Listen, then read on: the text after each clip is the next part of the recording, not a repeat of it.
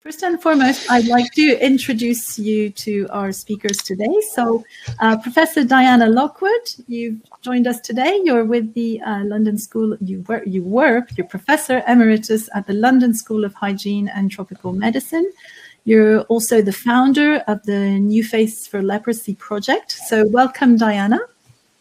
Thank you very much. It's nice to be here, and I'm looking forward to participating in this session. Well, we're very pleased to have you here. And uh, Professor Lockwood, you've been working quite closely with Tom Bradley, who is a photographer and artist, and also working on the New Face for Leprosy project. So, hi, Tom, and welcome.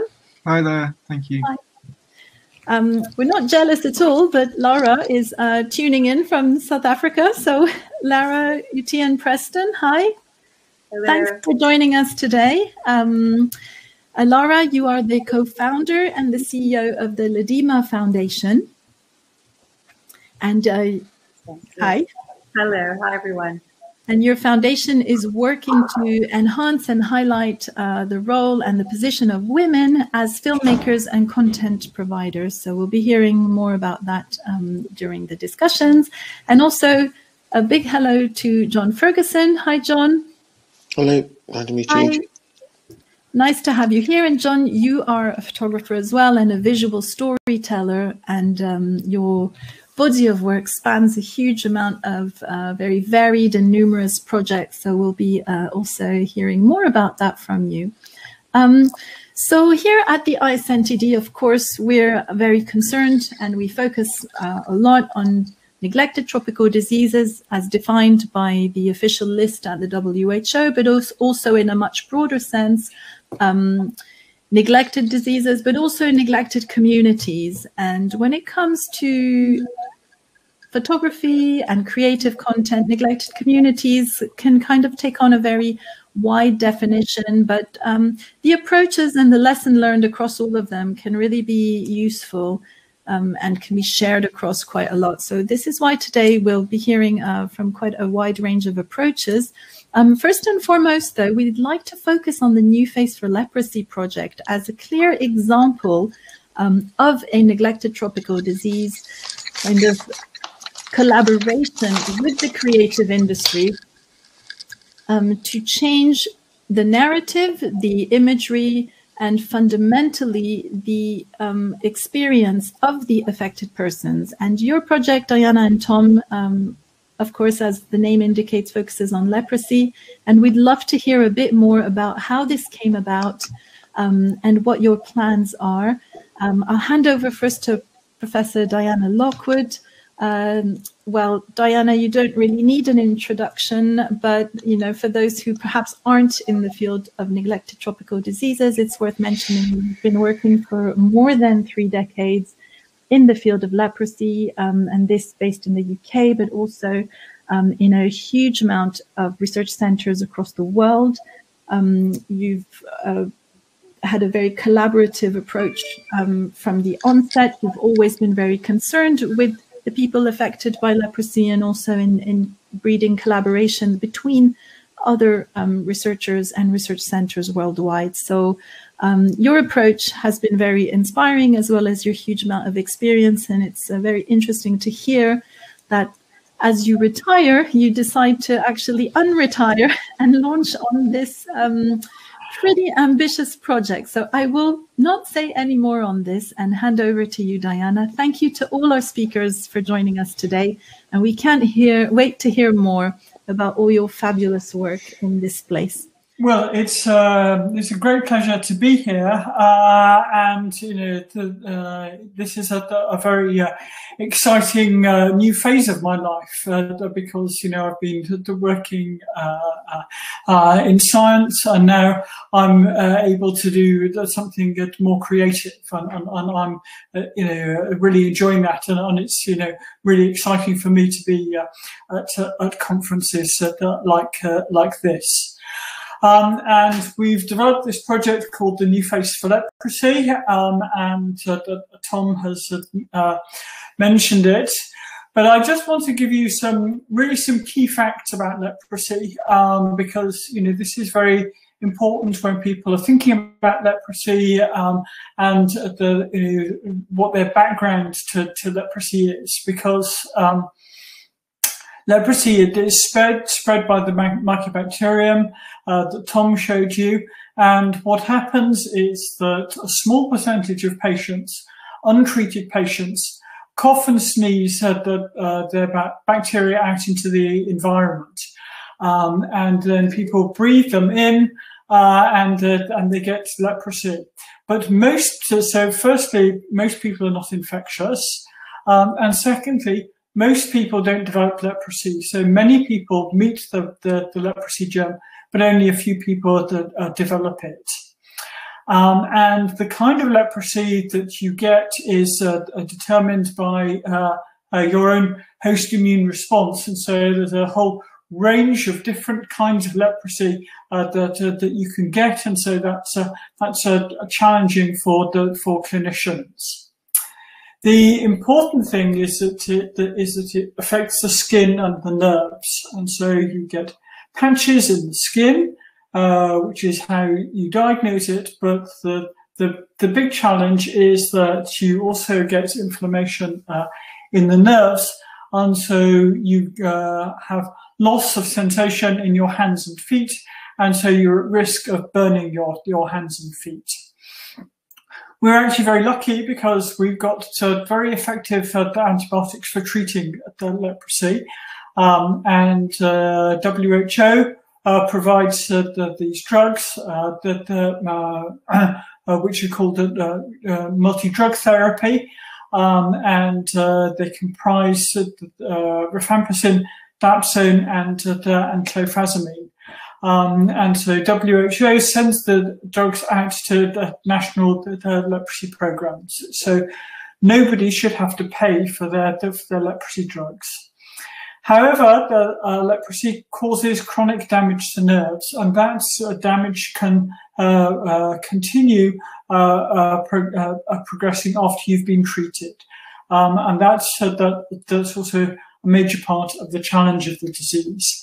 The other thing is that we we uh, see about uh, 220,000 new cases globally. So it's still a big problem, uh, and the countries that have had the, the biggest problem are that uh, India, Brazil, uh, Indonesia, and, uh, and Nigeria. And what happens when one searches for the leprosy on the web, one just sees negative pictures. Um, and uh, uh, these are the, uh, the with disability. Uh, and the reason that people put these dramatic pictures up is, um, you know, partly historical, um, partly because doctors are sharing, you know, pictures of severe disease. Uh, but also because the, the NGOs put them there uh, so that they can raise funds for leprosy because you know it's the the, the uh, and, and, this is very unfortunate because this has really you know strengthened uh, the, the, the the negative images associated with leprosy. And what's not seen uh, in the, in a, in these uh, um, searches are that you know leprosy is curable, uh, and that most people are cured with antibiotics, and that family and friends are at low risk. So what we've the uh, so these are the uh, uh, images of leprosy, you know, from from the web. Uh, so that you know that these are the uh, Norwegian patients, you know, from uh, the 19th century. that's also historical birth and then uh, there are more the, the recent uh, photos uh, from uh, current times. So what I, after what I wanted to do was I wanted to create a more positive image of leprosy.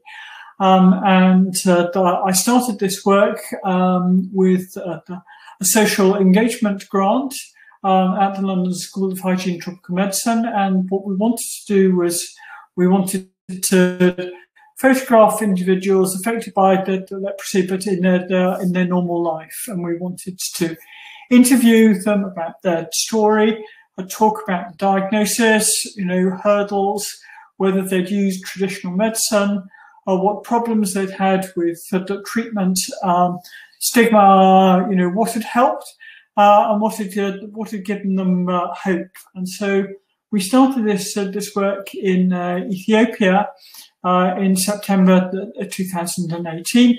And I did that uh, with Saba Lambert, who's uh,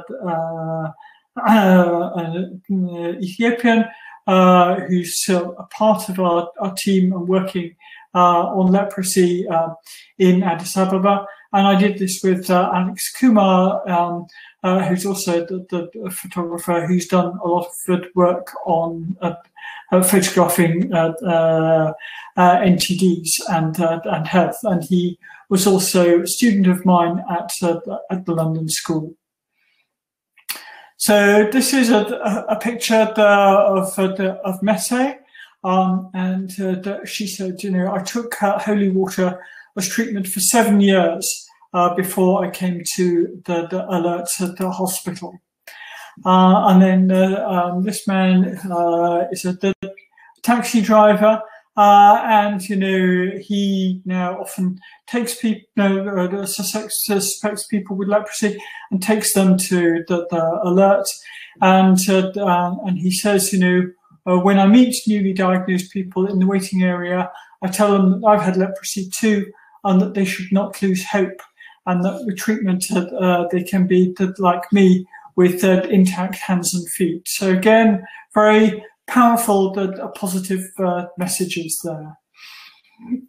And then this lady, uh, she works in uh, uh the, the, weaving uh, the section at, uh, at the the um, patients the area outside the camp, outside the hospital.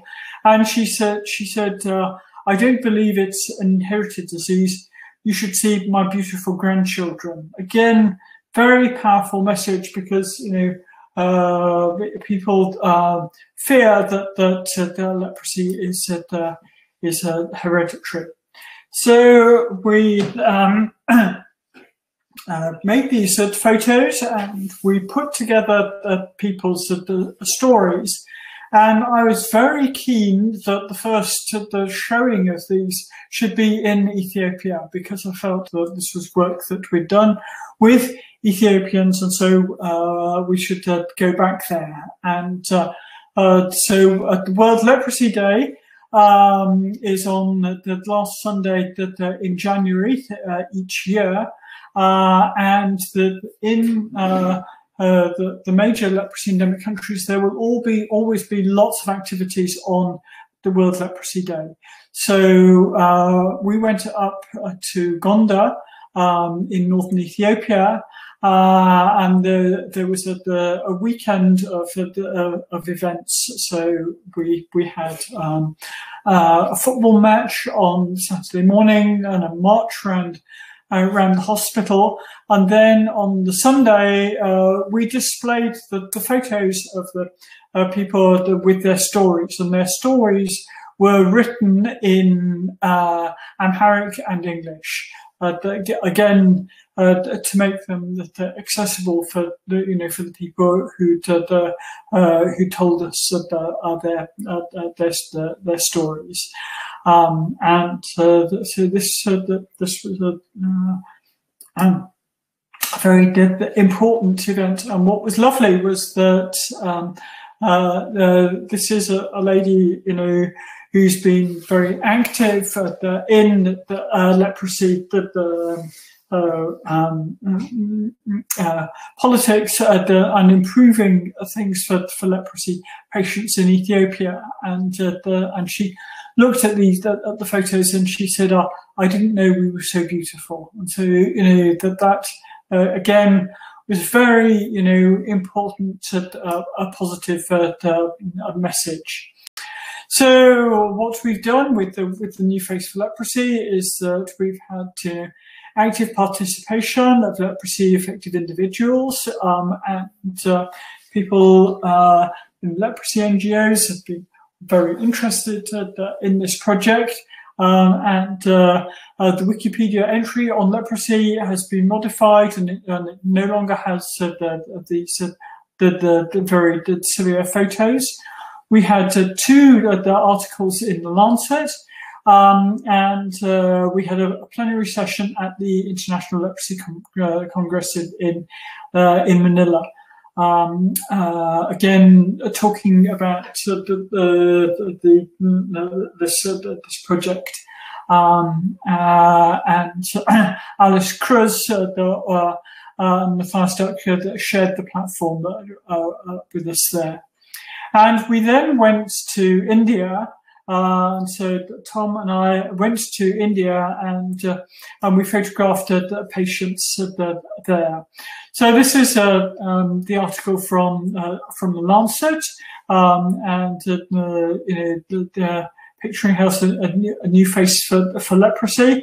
Uh, and that's uh, that's uh, that's uh, the couple who've uh, the leprosy couple who've uh, got married. So one, one could maybe call this you know love in the time of the, of leprosy. Um, and we then went to India. and we were supported by, by Lepra, um, and we interviewed and photographed patients in Hyderabad, um, and we spent a, a, a week in Mehboob Nagar at the, south of Hyderabad, and then a week in in Hyderabad. You know, and uh, what was important was that you know that uh, the lepra staff, you know, talked to the patients about the project uh, uh beforehand. You know, and and we got informed consent uh, before that before uh, uh, visiting them um, and photographing them, um, and, and and you know, and they were also you know able to tr- uh, drop out if they if they changed their minds. And actually, the, the um, uh, uh when we were there uh, one day, the, the, the uh, a woman um, who had a, a, child with leprosy, she changed her mind because she didn't want her, her uh, daughters to be photographed. So the, this is uh, the Manikama, um, and uh, I've actually I've known her since she was 16 um, uh, because she worked as a, as a uh, uh, a cleaner in the guest house in Hyderabad, um, and then she did. Then she was uh, uh diagnosed uh, very quickly, um, and so, she, she's just had very uh, minimal symptoms. And then it was a, a real pleasure to, to, to see Munia Khan again. Um, he uh, has had the, the, problems with his hands. Um, and I, I, remember very vividly that, that from uh, the, uh, uh, 30 years ago when he talked about the, the problems uh, of playing the, uh, the tabla uh, with the pain that he had in his hands as a result of his, his, leprosy and the ongoing inflammation in his nerves. Um, and you've seen these photographs of, of Aya, and again, you know, very interesting man. So, you know, he he, he was an engineer, um, and uh, uh, when he did, uh, uh and firstly, it took him some time to be diagnosed with leprosy. Um, and again, that's that that's often uh, the problem. It's often worsened in the private sector, and he was given very false information. He was told that he might die, and he was also charged for his medicines. Um, and so when he wrote on Tom's photograph, he mentioned that uh, that he'd uh, uh, been charged for for his medicine. Um, this is really what we want to do. We we want to you know help uh, abandon uh, the, the stigma of, of leprosy. Uh, and this, this young man is from yeah, Ethiopia and Addis Ababa.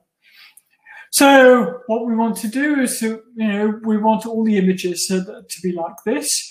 Um, and we had a presentation at the House of Lords.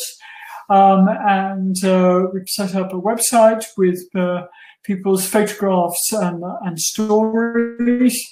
Um, and uh, we launched that, you know, on World Leprosy Day um, a couple of months ago. well, it's actually just uh, still six weeks ago, um, and we've had a lot of uh, positive responses, you know, um, uh, from people that uh, across the world, you know, including uh, WHO, who wanted to do, uh, put a link on their websites uh, to the images that we've got about leprosy. You know, and you know what I feel is that you know every NGO should have positive voices from people affected by leprosy, and and we're also you know working um, uh, with the, the, other organisations who are working on stigma, such as the uh, uh, uh the International Leprosy Association and uh, and WHO, and we plan to interview uh, patients in in other countries. So I just want to you know thank the the leprosy affected individuals who've shared their stories and images. Um, and uh, the, the, funding for this project was from LEPRA and, uh, the, and the, London School. Um, and, uh, and, we now uh, have our own uh, website. And this, yes, um, so I've experienced leprosy and am now well. And this is uh, just to take you back to our uh, our, uh, our, logo, and the you know uh, the logo is really you know about hope, you know, the uh, looking up and being uh, positive. Thank you.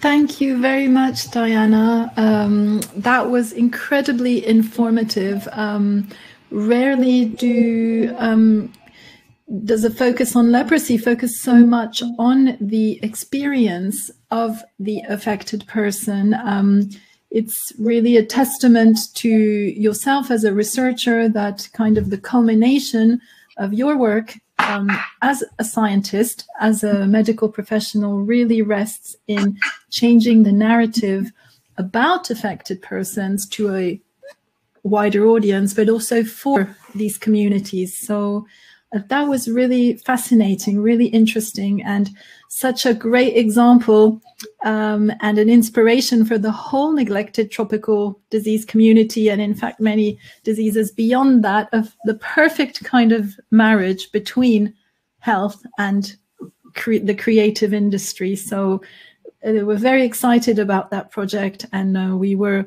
uh, you pitched the, the bar very high. We're inspired right from the start with Tom's photographs. So thank you to both of you um, for really explaining and sharing that project with us.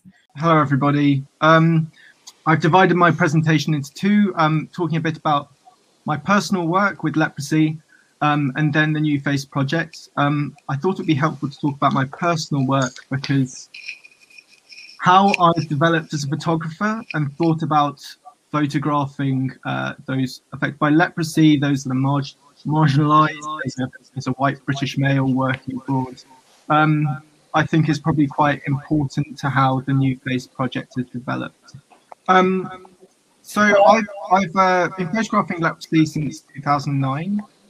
Um, can everyone hear me okay? Yeah, I can hear you well. Yeah. Um, so I've been photographing since 2009, and uh, I finished university in 2008, uh, having studied zoology. Um, but knew, knowing that I wanted to be a photographer and was really interested in documentary photography. Yes, so uh, I've been photographing since 2009. Um, it started off. Uh, I, I knew two friends that had volunteered at a le leprosy hospital in Nepal, so I went there um, because it was quite convenient to organise. And uh, the first couple of years was all all self funded. Um, and uh, when I was there for that first time, spending uh, six weeks in this leprosy hospital, um, I met several people. One of whom was particularly um, uh, important, a podiatrist called Dr. Hugh Cross, um, who I had long chats with about the what leprosy is like across the world, and I thought this sounds like an interesting subject. And Hugh basically encouraged me to um, maybe pursue it um, uh, as as uh, you know neglected in terms of um, how it's um, uh, uh, shown across shown across the world and shown visually, um, uh, but also um, talk about in a, in a bit of a different way. And I don't think I did that initially, but I was intrigued nonetheless. Um, I I then I organised to go to Nigeria, um, uh, self-funded as well, and then Togo the following year, and then through a blog, various NGOs picked up and um, asked me to photograph for them, which became commissions. Um, and so what started off as a, a six-week project turned into a one-year, then two-year, and then five-year. And I now realise that I'm um, probably, I hope I'm going to photograph leprosy for the rest of my life. Um, uh, this is, these are screenshots from my website, which I'm um, still changing, but actually um, appropriately, it rather shows the sort of um, progress that I'm sort of making. So this is how I started photographing a lot. I was very interested in black and white um, reportage, um, influenced by a great um, tradition of, uh, I suppose, mainly Western photojournalism. And I was quite naive about my role. Um, and really, I saw these stories and I thought, there's, I want to show people what's happening. I want to raise awareness. Um, I want people to know that leprosy still exists and it's still very hard on people. Um, and and leprosy is very closely associated with poverty. Um, so that was a large part of what I was photographing, and I didn't shy away from that. Um, and some of these images are quite hard to see, and they're quite um, cliched um, and uh, uh, yeah, what you might expect perhaps. Um, and I gradually realized that uh, I, you know, there was a problem there, and that I didn't really want to um, reinforce stereotypes of leprosy. And I started photograph, making sure that I didn't just photograph um, scenes that were quite painful to look at, but um, uh, scenes that were more tangible, moments of joy, perhaps. Um, this is one of my favorite ones from earlier on. Um, and and then I and then I you know there were various things that I realized um, as I started photographing NGOs. I had to photograph in color. There's various reasons why I liked black and white. It's easier to photograph in black and white, I think. Um, but um, I've recently started going back through archives and putting the old black and white photos into color. Um, and I think there's a strong, uh, yeah, historical association with black and white photography, especially of um, especially of things like poverty, um, that have reinforced stereotypes, especially in things like the sub-Saharan region, sub-Saharan, uh, yeah, sub-Saharan Africa, and um, and I, I, realized that I couldn't. I had to think very carefully if I wanted to put things in black and white um, and continue that way. So I largely photograph in color now. Um, and th- so I've recently been going back uh, this year. I haven't been traveling at all this last year, so um, I've been going back through my archive and combing through these old photos. Um, and maybe this one is slightly more representative of what I do today, where it's not sensationalist in any way, but still shows um, uh, something that's happening. Um, this is uh, the counselor at a, a, leprosy hospital in Nepal, Anandaban, speaking with Buddha, a patient there. Um, and you know it shows that uh, he's clearly going through something and there's some some sort of emotion on his face but it's not sensationalizing it it's um, showing the scene and showing a sort of connection between the two of them um, but i've been thinking quite a lot about different ways um, to challenge um, how to go about and uh, photographing uh, the marginalized and um, how i could make it a bit more human and put a bit more of the power in their hands. This is one of the sort of early attempts at that at um, a leprosy colony in Nigeria, which I visited for the second time in 2014. And um, I spent three weeks there on commission. Um, and actually, the man in the top right, um, Baba Joshua, was spoke um, excellent English and worked as well as as well as being in the, um, living in the leprosy community was an administrator in the hospital and he helped me for sort of three weeks. And I was chatting with him, and I said I wanted to, I wanted to show, uh, I wanted to give some prints back of people, um, but when would be a good time to do it? And he said, well, why don't you photograph them after church on a Sunday, and everyone's wearing their best clothes, and that will be how they want to look. Um, so I, I, the pastor allowed me to make an announcement in church, and I set up my camera outside, and I told people that they could stand however they wanted, and I give them a print back, and it resulted in this series um, of, of, uh, people wearing their Sunday best, and so I called it Sunday best. Um, and so it's you know a small early attempt at, at just being aware of who I am and how people might want to be portrayed. Um, and uh, one thing that was good about this is that I photographed everyone irrespective of. I, some of them will not have leprosy. Their parents might um, will not have had leprosy. Sorry, been affected by leprosy. Um, but I, it, it didn't really matter. The point was just to photograph them as as humans, as part of this community.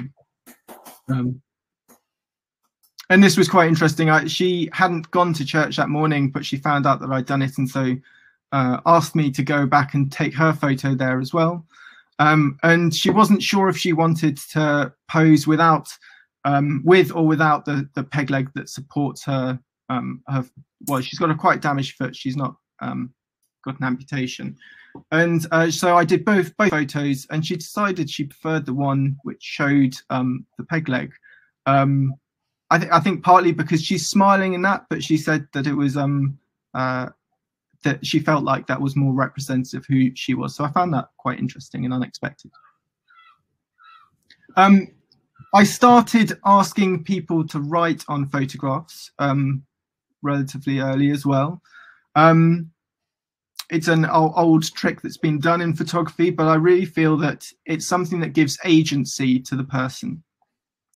And initially, I started doing it by um, going off to print shops when I could, if I was spending a long period of time there, and making a photo and asking to write on them, and, and then later with Polaroids, just because it's more immediate, um, even though it's smaller and uh, a bit less space to write on.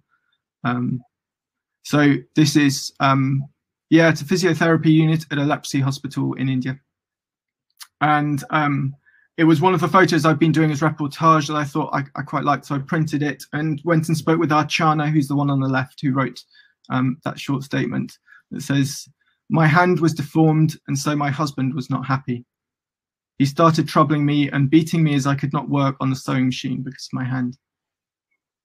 Um, so it's about making that sort of connection and there's a conversation that obviously precedes that um, and uh, but ultimately it's up to them exactly what they want to write what message they want to say um, and here's another example of a man from the same hospital when i first started doing it and he wanted to remain anonymous but was happy to blank out his face that much i, I asked if he minded showing his eyes and he said no no that's fine um, but this is all his writing and his scribbling and he wrote, I have ulcers on my feet for which I take medicine and treatment. If I'd received MDT, the treatment, uh, when I had patches, I would not have got these deformities. In spite of me being so educated, I did not know that anesthetic patches are a symptom of leprosy. Everyone in my family knows I had leprosy, but I had them all examined for leprosy. But I have not told anybody else. There should be public awareness done. So as well as as well as telling a sort of personal story and um, um, of what he's gone through, he's also talking about bigger political um, uh, ideas of um, uh, how how well leprosy is um, uh, in medical education or um, advertised to the public, or yeah, whether people know about it. So I wanted to start talking about these things, and it was good to find those um, who were literate and um, had ideas that they could write out for themselves. And these are more that i've been doing. I won't show the translations for everyone, um, but these are on some of the commissions uh, for the Polaroids. And it, the idea is it gives them a voice in their own language, and they're not necessarily messages um, for us as um, for for a Western audience that maybe is not um, does not have leprosy on our doorstep, but um, also messages for their neighbours and for people to see. So um, these ideas played quite strongly into the New Face project. Uh, and this is one I did. It's maybe slightly unexpected. She's um, now a good friend. Uh, she's Brazilian, but was diagnosed with leprosy in Germany. Um, and I um, uh, she this is when she came to visit um, an exhibition of mine in London about five years ago or so. Um, uh, and she's written a book about what it was like to be diagnosed, um, you know, in a country with excellent medical services um, and still go through the reactions. So, um, but she's uh, it was a very interesting book that she's written. If you're, if you're interested, uh, the living disease, the living death, the struggle with a long forgotten disease, um, and she's written in German and Portuguese and English. Um, and I think that's probably quite quite key. The phrase at the top, "I haven't let leprosy define me." And then this is a more recent exploration I've done um, where I I've been thinking for a while about you know handing over full transition. I think uh, probably Lara's going to speak in much um, more depth about this um, sort of thing, but handing over the camera to um, those affected. Um, and in fact, this was wasn't for to those affected by leprosy, but were to um, to like young adults and teenagers brought up in a leprosy colony where their parents had been affected or grandparents, and they still wanted to talk about the social stigma and problems that they went through just by being related and associated with that colony. And so I um, gave over a load of cameras to four of them, and we had about three, three and a half weeks um, where I'd help them photograph and talk about how they could maybe represent their life. And we found um, old photos from family albums and scanned them and Xeroxed them, and then made these large collages um, and then exhibited them in the colony at the end of the, the session. Um, so um, I didn't take any of these photos, um, but uh, I, I, helped sort of uh, in, in, sort of putting them together and we talked through different ideas and I talked through different ways and then they ulti- ultimately made the final choices and some of them are completely their own ideas. It was it was a really um, amazing process to go through. Um, I'll just say quickly. So this is um uh, uh, Rishi, um, and he wanted to write something on the collage, uh, and he and I said, well, what do you want to write? And he sat down and he wrote a very quick paragraph, and it was in, incredible how open and vulnerable he was and willing to talk about his relationships with his parents and um, the pressures on him um, uh, to to provide for the family um, by getting a, a, doing very well at school. And he said, "I can carry on writing," and and he just poured all of this out um, onto the onto the onto the collage. And so um, I, I could I could you know as a as a photographer going in listening, interviewing, editing, I could have never got even close to what um, he's put on here. So um, yeah, it was a very different experience. Um, and here are the other collages. Um, this is Jaya. We talked early on about, she said she was, she really loved green and forest, but there wasn't much around her. And I said, well, why don't you go and photograph as much as you can? And then we made this little um, collage of, of a sort of forest the, the top of the, the page is something aspirational and it talks of maybe trying to escape um, the, the, the, the colony, the idea of the colony as well. Um, and then this is Mega. Um, and you can't quite see the details, but there's quite surreal photographs and um, she's sort of put them together so they look quite strange. And um, she takes a lot of selfies as well with her friends. That's quite usual. So I said, well, why, why not? Yeah, put these in. Um, so she put these in as well. So a lot of these were her choice. And then Suraj, who talks about his his father and watching his father as someone affected and um, living in this colony. But then he talks also on the right hand side about his future and his worries for his own future and how he wants to be an actor but knows that's probably not possible. But then he's seen all his friends um, uh, turn to drugs and, and alcohol and crime, and he's worried that he might go that route um, because that's sort of what seems to happen. Um, and so this was it was amazing seeing all of this. Um, so yeah, I thought I'd summarize that quickly. Um, I, I, put my contact there, and um, I've got I set up recently an, an, Instagram which I'm doing daily sort of posts of these sorts of things if you're interested in that. Um, and that brings me to the New Face for Leprosy project. Um, Diana brought me into this um, in 2019. Um, we'd been in touch for a while. Um, and uh, I, am going to let her talk about uh, the sort of uh, other details of it. Um, but uh, I suppose I've got. I'll, I'll, summarize it quickly. So it's um, it's essentially trying to create a new uh, image. I'll talk a bit more about how um, there's a lot of negative imagery, especially when you search for it. And she thought, well, as, as newly diagnosed patients um, uh, being told they've got leprosy, these days they will search for it and they see a lot of negative imagery that creates a lot of fear and stigma. And so this is trying to counteract that a bit. Um, and we recently came up with this logo here of someone looking quite hopeful, but obviously non not gender specific. And I, I actually am. Um, I'm going to talk about the images and process, but I got that image from um, one of the ones that I shot in um, India with Diana, um, where I'd asked this woman to just stand and breathe calmly and um, relax and close her eyes and just think of things that make her really happy. And we'd had this conversation where she was quite distressed um, uh, about some of the things that were happening cur- currently in her life, and she got this this image of sort of calmness. And I thought, well, it would be nice to base that um, um, uh, logo on what what I felt was quite quite a beautiful um, moment.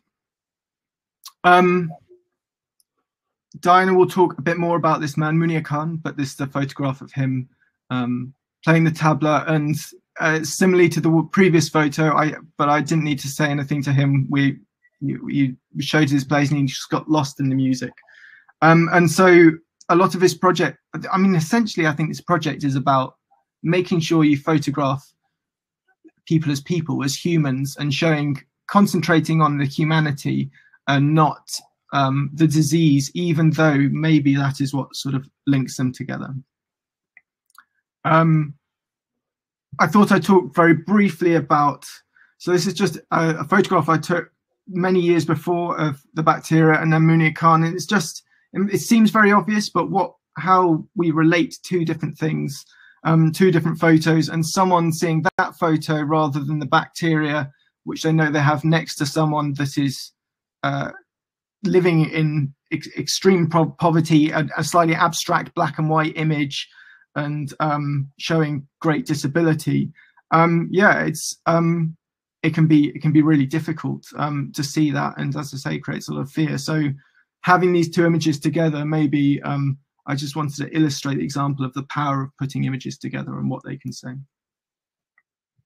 Um, this is another one, Chilakama, um, and I think Diana will show another photo of her when she's got a big grin on her face. But I thought I'd show this other one. Um, uh, they're complex stories that people tell. Um, they're not all happy stories. They're not all sad stories. Um, and I and photographs are very quite one-dimensional. But I wanted to make sure that if I did photograph uh, looking a bit more serious, that I, I got down low. Um, I gave her a bit of height. It gives that sense of dignity. It's a very common, usual trick for, as a photographer. And I've noticed going back through my archive that from those first few years, um, a lot more of them were looking down, whereas I then began to change and photograph people straight on or looking slightly up. And I think that that does help with um, uh, telling, uh, yeah, giving a sort of more positive outlook of who they are. And um, here's another example, um, Srinivasaram. Um, and yeah, another another example, a uh, couple of images together. Um, Saidulu, um, who had an amazing smile, um, a grin. You know, one of those things that's quite noticeable and infectious because he's grinning all the time. Um, and so I wanted that photo, but uh, then to show show it with his work, and which is very ordinary photo of a of a worker. It doesn't show anything that might hint at leprosy. Um, and the other photo there is uh, you can you can just see there's um, slight clawing, which is one of the things that can happen with um, um, uh, the effects of the bacteria if it's not treated quickly. Um, but actually, that's it's it barely features in the photo. It might not be noticeable if you didn't recognise it. Um, what what's it, what it's focusing focusing on is is who he is, the humanity, and that. Well, in this case, the smile that's sort of um, uh, dominant. Um, showing back to Munir again, I wanted to when he still plays the tabla, it is very painful on his um, hands if he plays too vigorously. Um, but I so I wanted to sort of focus on that and the aspect, but I thought putting these three images together to make sure that includes his face and isn't just focusing on the body parts um, is also probably quite key. Um, and then this sort of multiple set of images of VN Aya um, talking with Diana. And I, I think there's something, video does this quite well, but then photography, it's all there together. And I do like still photography in that way, but um, uh, I, I like how there's all of these different expressions and nuances in what he's trying to say and the emotions that you might pick up from then reading about the conversation. Um, and uh, they say something about who he is generally and and it just builds up this slightly more complex picture of an individual um, rather than a single image. Um, and then uh, at the end uh, i did a polaroid of him and he chose to write um, uh, i was tricked three times at three places before i found out that treatment is totally free. Um, and so that very small sentence but that gives a lot of sort of snippet into the problems um, people might have with being diagnosed, but at the same time, making sure that anyone that reads it knows that treatment is completely free worldwide. Um, and this, then this is uh, Zaiban Begum, um, who's written in Telangana. Um, and again, Diana, I think, was going to show a different photo of her, but I thought I'd show these two slightly um, uh, different different expressions. Some one more sober and a somber, and one more of a um, yeah this cheeky grin that she has. Um, and she wrote, "My name is Zaiban Begum. I have suffered for three years. I started taking medicines regularly, and now I'm happy. Take your medicines on time." So mainly what we were asking was um, for what message would they give to someone else who's just been diagnosed. Uh, this is Sultana Begum.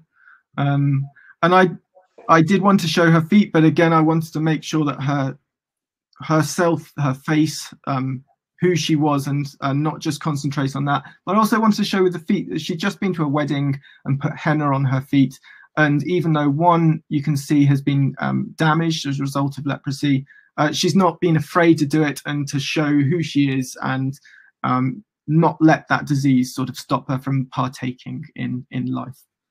Um, and then this is uh, the the Polaroid I took of her, which is written in Urdu, um, which I I still haven't got a translation for it yet. So if anyone speaks Urdu, um, otherwise I'm going to uh, send out to a few people.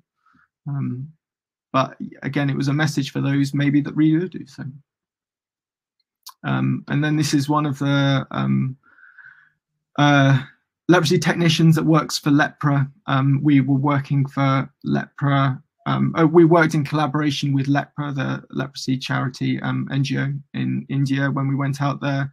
Um, so I thought I'd show this photo of Babu Rao in his office. And I think actually some of the posters on the wall on the right are ones that Diana commissioned quite early on her um, when she became uh, the UK leprologist.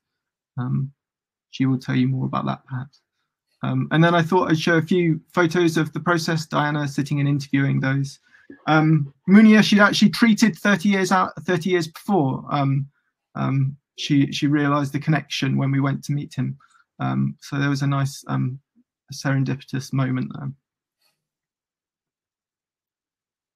And I'll show you a few more of, um, of just these scenes. And yeah, it was quite, just quite important how we go about the process and speak with people about what they want to say, whether they want to take part. Um, whether they want to be have their photos be shown in Hyderabad um, or over here or online and that sort of ramifications. I'm, I'm, sure we'll talk about consent at some point, but that was all very important part of the process. Um, and of course, she is a, a, a, doctor, so she made sure that um, uh, she checked she checked um, people that had any concerns while they were. But yeah, it was a, a very enjoyable and rewarding thing to do. Um, uh, and uh, yeah, I'm really looking forward to how the new Face for Leprosy project is going to evolve as well. Um, here's one of the team photos at the Blue Peter Research Centre in Hyderabad, um, which I, yeah, I won't say any more about that. Um, um so there's a new Face for Leprosy. Um, there's a the website there. Um, it's still in development, but there's some stories on it. And there's an email which I think might not have been set up, so I put my own email. And I think Diana's got her email in her presentation, which I hope is ready now. So um, thank you.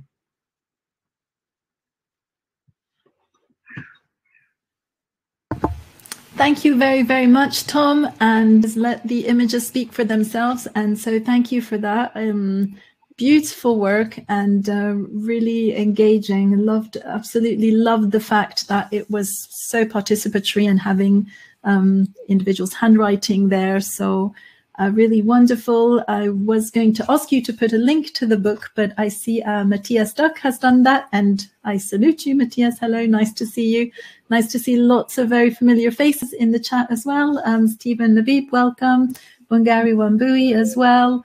Um, uh, we've got uh, Maxon Agnolito here, Anita Macri. Hi. Um, Anita, I think, interviewed you just very recently about this work. Just a huge thank you to Tom. Um, so we're going to move a little bit away now from uh, looking acutely at neglected tropical diseases, but we're still going to be thinking uh, very much about what it takes to change current narratives of perhaps neglected communities or forgotten stories and um, this is where the wonderful and incredible work of the Ladima Foundation comes in.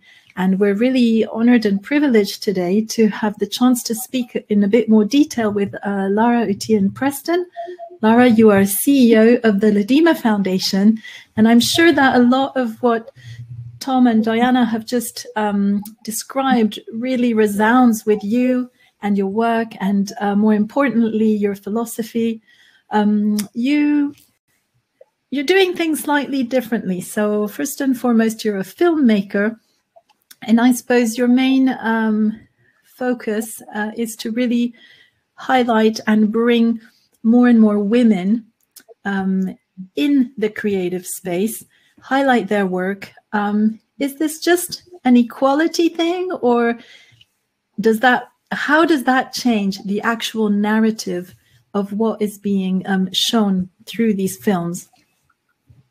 Hi, to be here. Um, yeah, so um, so what we what we do at the Ladima Foundation is really facilitate um, the training and development, access to opportunities, recognition for women in film and content across across Africa. So it's it's an equality thing and, and more. Um, I think um, you know it's an understanding that when when women's voices are heard um, and when there's a diversity of views whether that's from any neglected community um, everyone benefits um, not just not just women. Um, families benefit men benefit societies benefit. So um, i mean it's no secret to anyone that that you know certain voices are more privileged than others certain voices control the narratives so um, and again you know very much when you're talking about whether it's i think maybe people who are affected by illnesses, people who are affected by poverty, people who are affected by discrimination. Um, women very much um, fall within that. So it's, it's almost like a double um, issue. So like, I mean, I think there was the one woman who said her husband beat her because she couldn't sew. So not only is she being victimized because she has been affected by leprosy, she's being victimized because she's a woman. Um, and so the diversity of voices is essential to changing everyone's lives. Um, and I think you know, within the African context, um, it's historically been Africa spoken about, um, probably in the same way that you know the, uh, the, communities of people with leprosy have been spoken about. So that idea of yeah of, of democratization of content, of people telling their own stories. I mean, our one of our our main payoff line is African stories have African women have stories to tell. Let's watch them.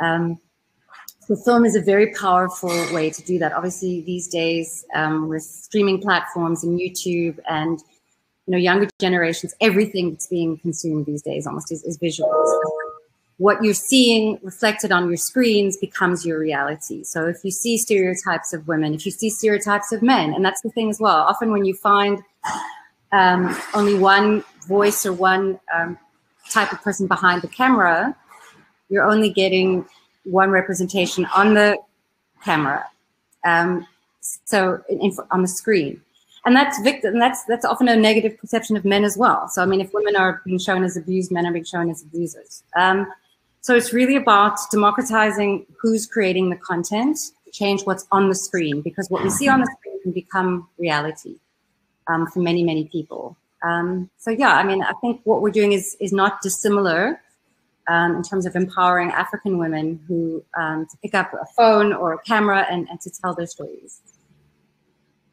That's uh, really fascinating, and um, what we are going, what we've seen, and what actually will be explored in a lot more detail uh, further down in the festival is really this um, idea of putting the means of creation in the hands of who you're talking about, of these audiences. And you're right, the stories of patients, the stories of women have been uh, sometimes told for them.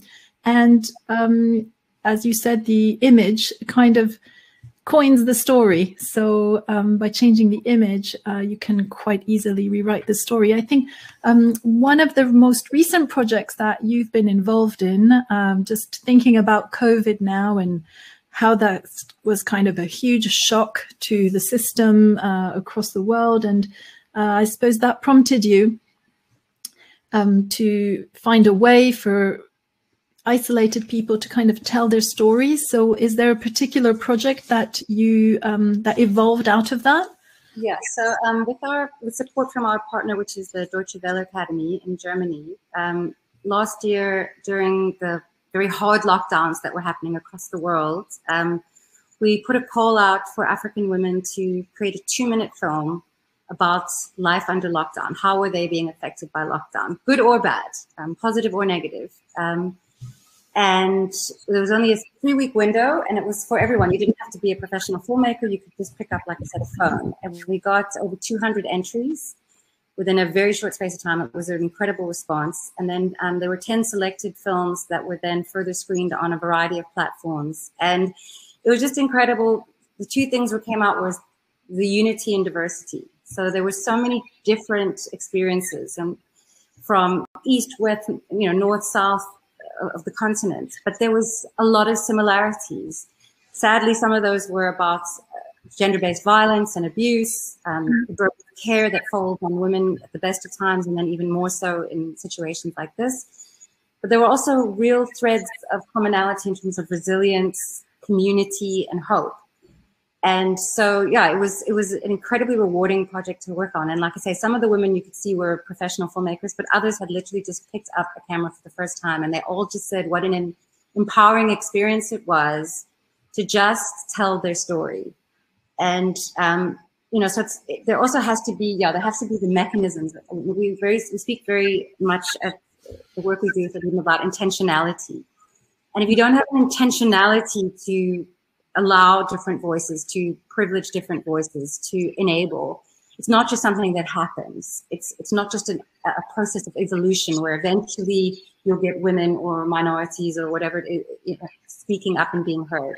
You have to have an intentionality, whether that's in um, film festivals, or, you know, and uh, you know, there was a huge movement around getting more women's films in festivals, whether it's in um, I suppose in the medical space as well. There's not an intentionality to put the patient at the center. There's not intentionality to center women's and other people's voices. It's not something that's just going to happen.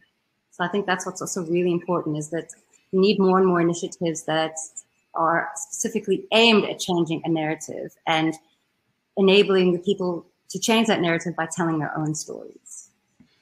And that's really interesting that you mentioned um, that your call out was for anyone, filmmakers or non-filmmakers, um, because yes, lots of people must certainly have an eye for a story, but unless, as you say, you have that intentionality of becoming a filmmaker, they, they may never get shared. So it's been a wonderful actually. And um, there is a show reel of um, a few seconds of this project. So perhaps this would be a great time to um, share that with our audience. So if you don't mind, we'll take just a few seconds break and um, I'll just play the video.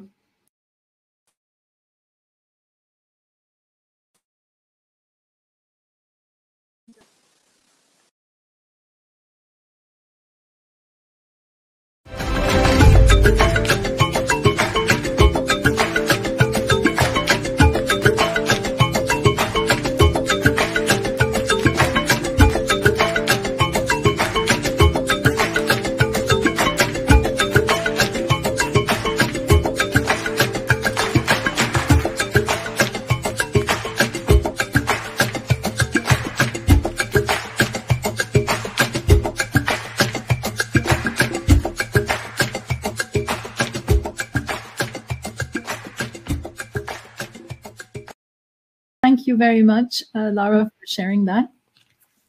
And uh, I suppose this really opens up the discussion based on uh, Tom and Diana's work and yourself as well on um, putting the voices uh, at the community level, really at the audience level. And that is uh, a major and fundamental part, for example, of a very technical document, the Roadmap for Neglected Tropical Disease Control, that was just recently released at the World Health Organization, um, really tracing the path to 2030 uh, with those to reach those all important um, elimination goals. So the approaches that you've, the three of you have described so far, in addition to being uh, in, an incredible opportunity to highlight patient voices, will also be hugely important uh, as part of much um, more widespread and uh, global kind of disease control framework. So on all levels, um, some fantastic work.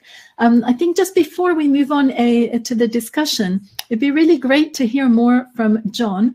Uh, John Ferguson, you're also a photographer, and uh, to really, we've we've spoken about the patient, we've spoken about the creators with Lara, and um, John, your approach really thinks about and focuses on the audiences because on your audiences, it is really about bringing um, those stories to a very wide, um, varied audience. Uh, John, you've got quite an interesting um, double life, I'd say, in photography. Um, we, I can't see you at the moment. I believe maybe your uh, camera is shielded or we, we can't see you. Hopefully you can hear us and you can see us. Um, if not, I would recommend just refreshing the page. Um, I'm still of the switch it off and on yes. school of thought. There you are. Brilliant. Hi, John. Yeah. Hi, hi. Well, my work revolves around photojournalism. That's my background in documentary photography, photojournalism, and um, um, I don't know. I don't know how I came to came to become uh, um, involved in that sort of work with NGOs. It just happened organically, I think, because my their interests allied at the same same time, same opportunities arose. arose. Uh, what I would add in terms of how um, you know your work with NGOs um, has really influenced um, some of what what I believe is very close to your heart, John. You've traveled um, as part of this work uh, to over sixty countries. You've covered things um, ranging from conflicts to disaster zones, uh, but also major sporting events, major um, current events. So, um, in all of this, I think your eye on misrepresented communities, but also overlooked communities, has been uh, really interesting and very sharp. And um, I know by way of background, John's work is actually in a very sort of commercial kind of field uh, working with celebrities or personal brands. So that this kind of very interesting double double um, take on uh, the image and storytelling. So um, I'm speaking on behalf of John, which is uh, not at all the idea of this panel, but I'm just waiting for John to uh, connect again. But perhaps before we see a bit more work from John, we could start. Um, and by the way, panelists, you're welcome to put your cameras on uh, as and when you you you're um, comfortable to do so. Uh, but perhaps we could just focusing on the work of you three and really uh, on those individuals that you've brought to life, empowered through the use of images. Um, we had here a few questions that have popped up in um, our chat. And we've got one from Stephen Levy. So Stephen's uh, focusing on asking Tom and Diana, focusing on leprosy, but we'll open up and unpack those discussions um, towards other neglected communities, of course. So um, do you have any ideas on how to change the narrative about leprosy apart from or in addition to perhaps individual stories of persons affected by leprosy, but in a much broader sense to create more urgency, attention and raise more awareness. Uh, so do we also need a new story for leprosy? Uh, so great question there by Stephen. And how do you, and this of, course applies to your work, Lara, as well, how do you move from that kind of very moving story of one individual to linking that to a much broader policy agenda or um, advocacy agenda and maybe even you know leveraging on some ngos international organizations governments. How do you link that personal experience to a policy change? And in particular in the case of leprosy that's really interesting and relevant um, uh, you know india through the work of advocacy and related to the um, position and condition and treatment of persons affected by leprosy, India actually changed some of their labor laws. So quite a, a substantial impact there. Um, Diana, what were your thoughts on, on this? Well, uh, yes, I, am I'm, I'm always uh, very mm, very happy when when people uh, uh want to want you know want to improve the narrative because you know it means that they've that they've you know that uh, picked up the the important message. Um, what I would say is that I think one does this in multiple ways, you know, and and you know, and you have you know you have to do it, you know, through, you know, uh, communities and, and, you know, and uh, uh, uh, arts and things. So, for instance, something that I was involved with, which um, I was very pleased about, was um, a novelist, Victoria Hislop, wrote a book called The Island about um, about leprosy patients in Greece. Um, and uh, and she came to me to to talk about it. Um, and actually, I was the I was the medical advisor on the book. Um, and when the book came out, and, and what was fascinating because when she was trying to sell the idea, you know, she she said, you know, that I've got a I've got a lot of the uh, uh, you know leprosy and a love story, and the, the first publishers she went to said, well, we would like the leprosy, um, we, we, we would like the love story, but please leave out the leprosy. Um, and, and, the, but then she went when she found uh, a publisher that was was sympathetic, um, and it was amazing because this this book um, was then picked up as summer book reading by Richard and Judy, and then, you know, it's now been made into a huge film in Greece. And, you know, and, and so that action has actually, you know, sort of, you know, rippled down in many, many ways. You know, and, you know, and, you know, many people, you know, have, you know, do have, you know, the, the, some, you know, uh, uh, better awareness, you know, about leprosy you know, through through reading the island. So I, I think that that the you know things like that make me ho- hopeful. But on the other hand, you know, there's you know this huge history of stigma, you know, and and you know, uh, and you know, and it's very much you know part of the religious narrative. Um, you know, and, and I think that that we have to, you know, that's why I, I, I say, you know, we have to combat it in you know in many different ways. Yeah, if I could um, also just add to that, I think policy and um, and this changing the narrative need to go hand in hand. So I think more and more organizations are realizing that. So I mean, a lot of the work we do, and my colleague Adima is more on this, is on the policy and advocacy side with governments around again intentionality. So it's a similar process. So saying if you're going to have film funds if you're going to support creatives and artists, make sure you're supporting at least 50% women, those kind of things. So it's again, you know, the, the policy and the advocacy has to go hand in hand. Um, I, I, I agree with um, uh, everything that uh, uh, Lara and Diana have just said. Um, I, I do think that um, I, when you say uh, apart from individual stories, I mean that's obviously a, that's a major part of it, and I think focusing on individual stories and uh, humans is um, must go hand in hand with all of these ideas of um, uh, of, of uh, yeah working in larger narratives of um, uh, working with campaigns or working um, in film or all sorts of sort of media and um, you know I obviously have an interest in still photography and um, and art from that side of things, and that's that's sort of that's one way, but that's a quite, probably quite a limited audience in many ways, and so.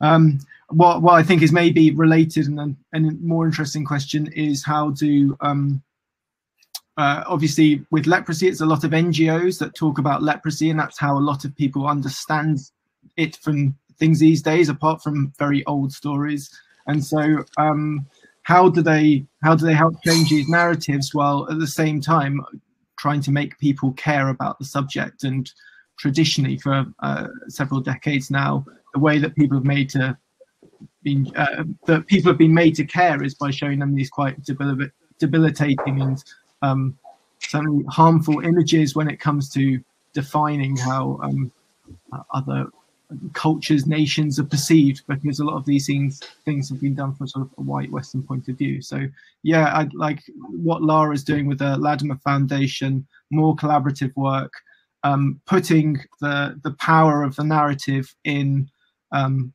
the communities where uh, which are partly affected are the ways to do it. Um, how that's done is going to be, I think, a, a, whole load of diverse ways, and I, I feel like I'm mean, just exploring it new places and just exploring it. So, um, yeah, a lot of these to be written already um, in the future, I think. So we have a a great question from Maxon Agnolito. Maxon, I'm not sure um, where you're tuning in from, your organization or country. Please let us know in the chat. It's always lovely to know. But Maxon was asking, um, is reminding us that NTDs, neglected tropical diseases, are of diverse nature and dimensions. Taking the case of schistosomiasis, for instance, how would we use photography to give narratives about its, its prevention? It's particularly interesting in that schistosomiasis um, is caught from unsafe waters, parasite in wa parasites in water. I'm sorry if I'm stating the obvious. Um, um, we do have quite a wide and broad audience, and um, this, uh, so despite a quite successful and um, simple treatment, pockets of persistent schistosomiasis do remain. And so without going into much the detail of the disease itself, what as um, what have you learned, Diana, from your work, but also as creatives? What would be your advice to Maxon or anyone really working in a neglected disease with quite complex kind of life cycles of parasites and complex behaviors amongst the affected communities? Like, what should we be looking out for to um, try and find the, an effective narrative? So I, I I know very little about schistosomiasis. I was actually found with a schistoma in my stomach once. post, oh. Uh, I can't remember where I was, but um, uh, but yeah, um, I so. I mean, it, it seems to me that the answer of these things lies in education, and that you know is um, if you're telling stories in the way that uh, whether it's uh, collaborative or, or or not, or putting the camera in the hands of um, uh, those who are telling their own stories. There's also got to be heavy education that goes with it, and obviously schistosomiasis is present in a lot of places um, where there's a lack of education, and that requires, yeah, great, greater things than than just sort of um, uh, using those, yeah, telling sort of stories. So I, I suppose for, I, I, I, yeah, how can we use photography to give narratives about its pre prevention? I mean, um, in the in similar ways of thinking about um, who gets to tell the story and what are the key points of um, yeah, educating people. I, I, I, think it's quite broad. I, maybe Lara, you have a better answer. Yeah. yeah, I was I was what I would say is it answers this and also answers I see another question from from Kathy is I think you have to ask who the audience is and what you're actually wanting them to do. So, you know, Kathy's asking about how do you get someone to do a call to action. Mason's asking how do you get people to maybe change their behavior on water. You have to know who you're speaking to.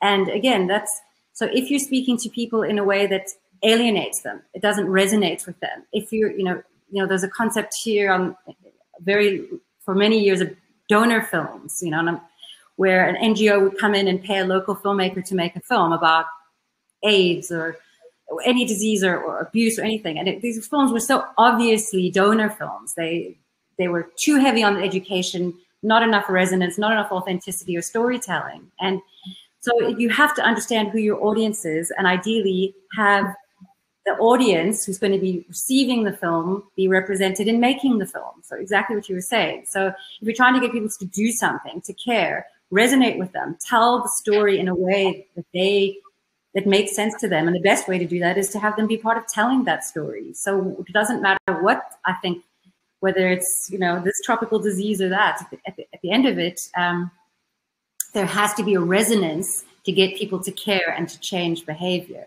And the only way to get that resonance is to be authentic and relevant, in, in my view. Yeah, I think that's a much better answer. There's there's another interesting uh, angle from the from the leprosy, leprosy side, which is that um, the WHO has also um, um, uh, we're we're currently in a uh, a campaign that, that's uh, called the triple zeros, and it's so zero transmission, zero stigma, uh, uh, and zero discrimination.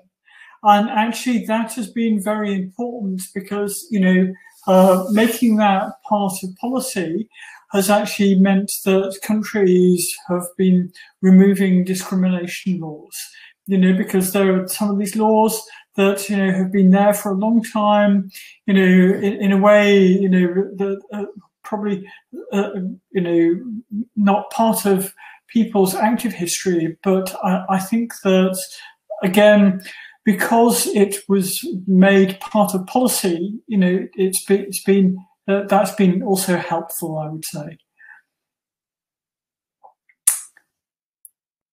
Fantastic, and I, I think that's uh, you mentioned the WHO, Diana, and that's been picked up uh, in a comment by Cameron Rafiq, my colleague at ISNTD, who says, um, who's asking, how does this approach to visual storytelling speak to the WHO advocated move um, that I mentioned earlier on as well towards country ownership um, of disease control programs, um, and also specifically to Lara, perhaps um, focusing on the role of women within the, the shifts that are really encouraged and enshrined in this new roadmap to control neglected diseases. Um, what will the role of women be in disease endemic regions in galvanizing political will to tackle these neglected issues and also releasing the all important funding needed to make this country ownership real?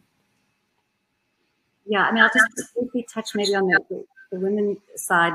Um, I mean, uh, yeah, we've just been told about this po uh, policy going into the session, so I'm not I'm not familiar with it. But I think you find obviously in across many um, poor and uh, disadvantaged communities, women are, are, at the head of the household. There's a lot of women and, and actually child-centered households, but women have a massive role to play, obviously, in this because they take the burden of childcare, care of the elderly, um, care of the extended family. So I think, but what what's important is connecting those women. Um, is you know connecting women across within communities and across communities and so, I mean, you know, our community is a community of women filmmakers, and we're or, or who want to be in that space, and we're connecting them through various ways. And I think you know, organizations that are looking to do this need to find ways to, by connecting women, you empower women. When they realize that, that what they're experiencing is the same thing that a woman in the, another village, another village is experiencing, then you get the collective will, which leads to, which often leads to advocacy and to then to policy change. So I really think it's again, it goes back to the, the empowerment and the connection of, and, and, and starting with women is, is always a good place. yeah, women access all areas, don't they? Um, we're coming up to the end of our 90 minute session. I feel um, quite sad that we haven't heard from John. Uh, just by way of background, um, as I was saying, John has kind of uh, one life in the commercial photography uh, world.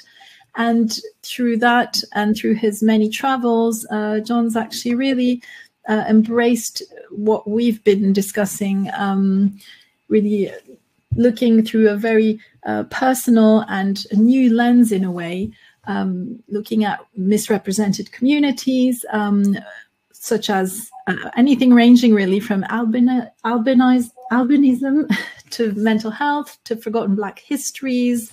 Um, you know, the unsung heroes all around us in uh, society. So uh, perhaps to conclude the session, um, I could just show a very brief selection of John's photos uh, that we had ready. It's really hard to summarize John's work uh, and uh, given the huge scope and breadth of it, but hopefully we will arrange for another kind of separate session where we can hear a lot more uh, from John's uh, decades of experience, really. And so just to illustrate a little bit what we've been talking about, here's, um, uh, in no particular order, a selection of John's work. Um, here we go. So um, obviously we focused a little bit more on the images that are related to conditions of poverty and neglected communities. Um, I was mentioning uh, John's work with um, albinism. And again, uh, images taken during a trip in Rwanda. I'm sure John would have a lot of commentary to say about these. An image that many of you might recognize, so taken in Sudan, and that was uh, made headlines by illustrating one of Oxfam's campaigns looking at income inequality. 85 the world's 85 richest people own the same wealth as the uh, poorest half of the world. Some images from Kenya. Also Hurricane Katrina.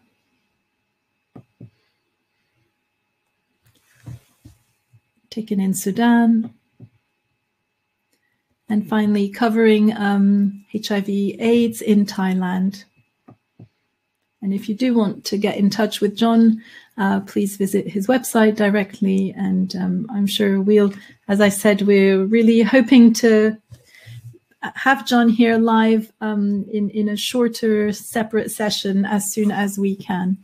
Um, so on that note, uh, I think it's time to wrap up for today. I just wanted to thank you so much. Uh, it's really not long enough. I feel like we've only just started kind of discussing and unpacking all these issues. The road ahead is definitely very exciting as more and more content kind of floods um, our our social media feeds and all around us as we're so um, tuned in now to the visual economy and the creative industry. So uh, we'll be watching this space and your next projects. And uh, once again, on behalf of uh, all our audience and the ISNTD, I just wanted to really thank you for your time today. Uh, it was lovely to hear from you, and um, thanks for sharing all your experience and uh, your your great advice.